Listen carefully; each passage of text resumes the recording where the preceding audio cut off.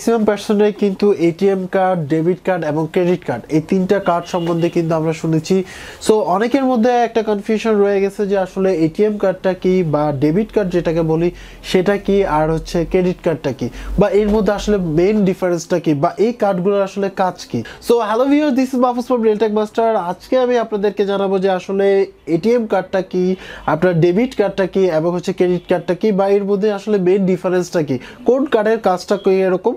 A to Z so চলুন শুরু করি Please like this video if you like, hit the subscribe button and press the bell icon for more latest tech videos.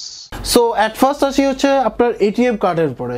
ATM কার্ডটা কি? ATM কার্ডটা হচ্ছে হলো এমন একটা কার্ড যেটা আপনি যে কোনো ব্যাংকে যদি আপনি অ্যাকাউন্ট করেন, তো সেই ক্ষেত্রে তারা আপনাকে যে কার্ডটা প্রোভাইড করে, সেই কার্ডের উপরে যদি লেখা থাকে যে এটিএম কার্ড তার মানে হচ্ছে হলো সেটা এটিএম কার্ড এই ক্ষেত্রে, এই কার্ডগুলোর ক্ষেত্রে আপনার ব্যালেন্সে আপনার ব্যাংকের ব্যালেন্সে যে টাকা থাকবে, আপনি শুধুমাত্র সেই টাকা পর্যন্ত আপনি উইথড্র করতে পারবেন। মানে এটিএম থেকে ক্যাশ উইথড্র করতে পারবেন। এই ছাড়া এই কার্ড দিয়ে আপনি আদার্স কোনো কাজ করতে পারবেন না। ফর এক্সাম্পল আমি বলি, ধরুন আপনি ডাচ বাংলা ব্যাংকের এটিএম কার্ড নিলেন। মানে ডাচ বাংলা ব্যাংকে একটা অ্যাকাউন্ট খুললেন, তারপরে তার এটিএম কার্ড নিলেন। সেই কার্ডটা দিয়ে শুধুমাত্র আপনি সেই ব্যাংকের যে বুথগুলো আছে, সেই বুথ থেকে কিন্তু আপনি এটিএম টাকা ক্যাশ উইথড্র করতে পারবেন। আদারওয়াইজ কিন্তু আপনি এটা অন্য জায়গায় ইউজ করতে পারবেন না।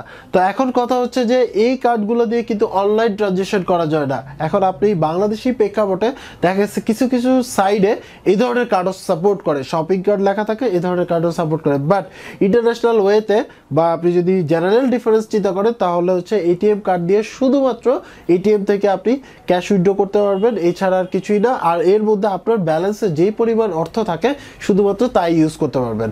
এটা গেল হচ্ছিল এটিএম কার্ডের ক্ষেত্রে। এবার আসি হচ্ছে আপনার ডেবিট কার্ড ডেবিট কার্ডটা কি? আপনার অ্যাকাউন্টের অ্যাগেনিস্টে আপনি ডেবিট যে কোনো কার্ড পেতে পারেন। যে কার্ডটার মধ্যে আপনার লোগো থাকবে। লোগো বলতে হচ্ছে, হয় ভিসা কার্ড লেখা থাকবে বা হয় মাস্টার কার্ড লেখা থাকবে।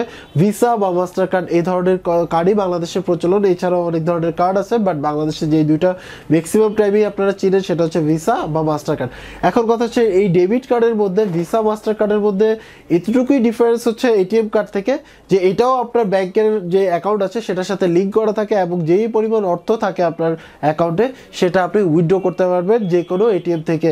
যে কোনো এটিএম বলতে হচ্ছে, আপনি যে কোনো যদি আপনার কার্ডটা ভিসা হয় মানে ভিসা ডেবিট কার্ড হয়, তাহলে যে কোনো ভিসা বুথ থেকে আপনি কিন্তু টাকা উইথড্র করতে পারবেন।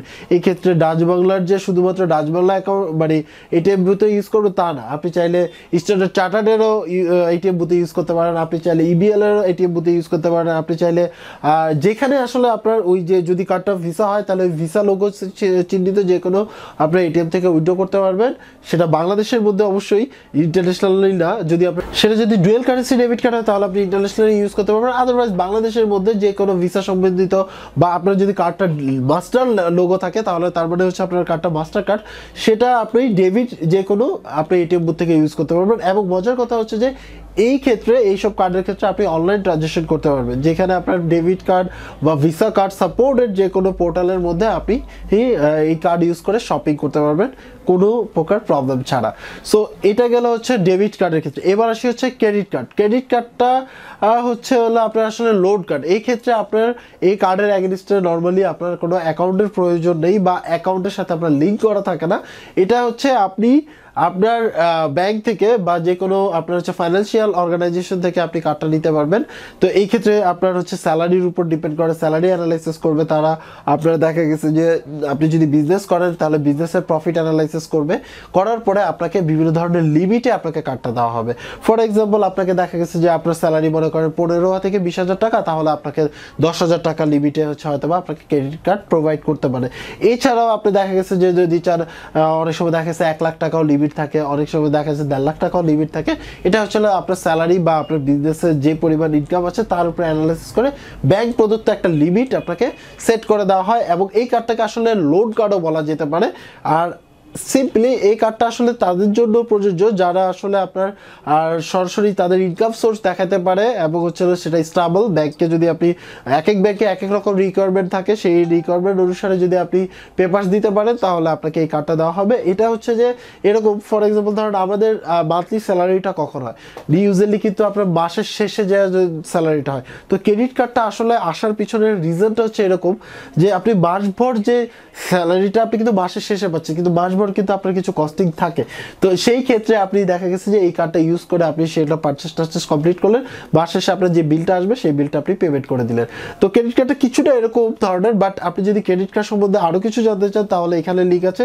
এখানে টোটাল ডিটেলস পেয়ে যাবেন যে আসলে ক্রেডিট কার্ডটা কী জিনিস, একদম টোটাল ডিটেলস এখন কথা হচ্ছে যে ক্রেডিট কার্ডটা আসলে একটু ভয়ঙ্কর। যারা বুঝে না না বুঝে ইউজ করে, তাদের ক্ষেত্রে একটু ভয়ঙ্কর। আর যদি আপনি বুঝে ইউজ করেন, তাহলে সেই ক্ষেত্রে ক্রেডিট কার্ডটা আপনার জন্য অনেক বেনিফিট আছে। আর ম্যাক্সিমাম টাইমে দেখা গেছে আমাদের দেশে প্রেক্ষাপট আমি দেখছি অ্যানালাইসিস করে যে ম্যাক্সিমাম টাইমে কিন্তু আপনারা বিভিন্ন ধরনের ভুলভাবে কার্ড ইউজ করার কারণে আপনাকে এক্সট্রা চার্জ দিতে হয়। তো ইউজুয়ালি হচ্ছে আমি আরেকবার বলি ক্লিয়ার করার জন্য, সেটা হচ্ছে যে ক্রেডিট কার্ড হচ্ছে এমন একটা প্লাস্টিক কার্ড যেটার মাধ্যমে আপনি ব্যাংকের থেকে আপনাকে একটা লিমিট সেট করা থাকবে, সেটা আপনার তারা যে লিমিটটা আপনাকে দেয়, ধরুন ফর এক্সাম্পল পঞ্চাশ হাজার টাকা, সেই পঞ্চাশ হাজার টাকা লিমিটে আপনি যে কোনো কিছু পারচেস করতে পারবেন ইএমআই ফ্যাসিলিটিস দিতে পারবেন রিওয়ার্ড পয়েন্ট ইউজ করতে পারবেন। করার পরে, মাস শেষে আপনার সেই বিলটা আসবে, সেই বিলটা আপনাকে পেমেন্ট করতে হবে। এটা হচ্ছে হলো বেসিক ক্রেডিট কার্ডের সিস্টেম সো আপনারা যেহেতু এত কষ্ট করে ফুল ভিডিওটা দেখেছেন, তো আপনাদের জন্য একটা বোনাস টিপস আছে। সেটা হচ্ছে যে, অনেকে দেখা গেছে যে, আপনি এখন কিন্তু বর্তমানে একটা নতুন কার্ডের প্রচলন চলতেছে, যেটা হচ্ছে প্রিপেড কার্ড প্রিপেড কার্ডটা কিন্তু এখন বর্তমানে ডেবিট ক্রেডিট বা আপনার এটিএম কার্ডের চেয়ে মোটামুটি বেশি জনপ্রিয় বিকজ অফ এই প্রিপেড কার্ডের ক্ষেত্রে দেখা গেছে যে, আপনার বিভিন্ন ধরনের চার্জ কিন্তু দিতে হয় না। আপনি ইজিলি ক্যারি করতে পারবেন ইজিলি ইউজ করতে পারবেন, যে টাকা রাখবেন, সেই টাকা ইউজ করতে পারবেন। এই ক্ষেত্রে আপনি ডুয়েল কারেন্সিও পাবেন, একদমই মানে অল্প খরচের মধ্যে। ক্রেডিট কার্ডের ক্ষেত্রে দেখা গেছে অনেক সময় এনুয়াল ফি থাকে এবং চল্লিশ দিন বা পঁয়তাল্লিশ দিন সময় থাকে, যেটার মাধ্যমে আপনি দেখা গেছে যে ক্রেডিট কার্ড আপনি ওই যেই টাকাটা আপনি ইউজ করেছেন, সেটা কিন্তু আপনাকে ফেরত দিতে হয়। তো দেখা গেছে যে প্রিপেড কার্ডের ক্ষেত্রে কি, সুবিধাটা ওরকম, যেমন আপনার মোবাইলের মধ্যে আপনি যত টাকা রিচার্জ করবেন, তার বেশি কথা বলতে পারবেন না। সো সিম্পল ওই প্রিপেড কার্ডের ক্ষেত্রে ওরকম। আর দেখা গেছে যে যারা ডুয়েল কারেন্সি কার্ড খোঁজেন বা অল্প প্রাইসে দেখা গেছে আপনার অনেক বেশি কাগজপত্র নাই বা আপনার অনেক বেশি কি বলে অ্যাবিলিটি নাই। আপনার এত কিছু দেখাইতে চাচ্ছেন না বা পারতেছেন না।